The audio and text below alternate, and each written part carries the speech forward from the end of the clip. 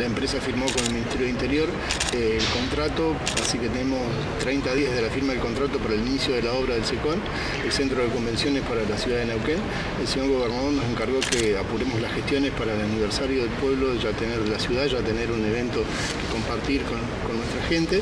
Se trata de una obra de 340 millones a valores de julio del año pasado, eh, una construcción de 5.000 metros semicubiertos, 3.200 metros cubiertos, dos salas de 700 metros una y de 600 la otra, que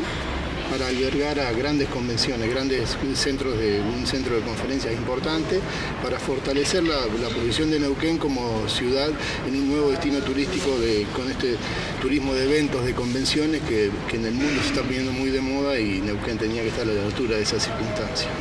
tratando de cómo es la política de gobierno de de ampliar, de transformar, de diversificar la matriz productiva de la provincia, así, y teniendo en cuenta ahí al turismo como generador de empleo y de divisas para, para la economía provincial. El plazo de ejecución de la obra son 20 meses.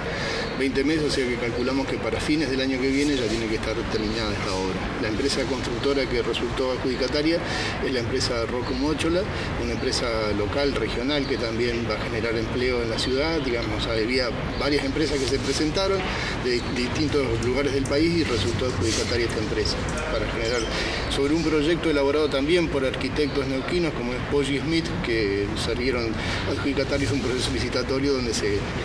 proyectó este, este, este, edificio que va a tener características arquitectónicas muy modernas, también en su equipamiento y en su operación. La obra se ejecuta junto con Cordineu, que van a ser los beneficiarios finales de la obra, van a ser quienes van a explotar este centro de convenciones.